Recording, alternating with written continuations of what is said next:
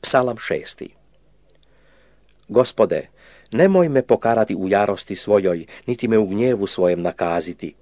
Smiluj se na me, gospode, jer sam iznemogao. Iscijeli me, jer su kosti moje ustreptale. I duša se moja vrlo uzdrhtala.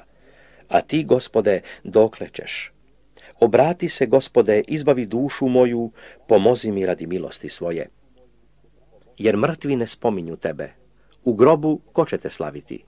Iznemogoh uzdišući, svaku noć kvasim odar svoj, suzama svojim natapam postelju svoju.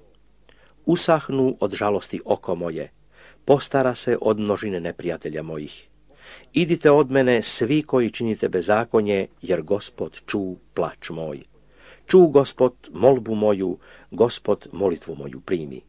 Neka se postide i prepadnu svi neprijatelji moji, neka se povrate i postide odmah.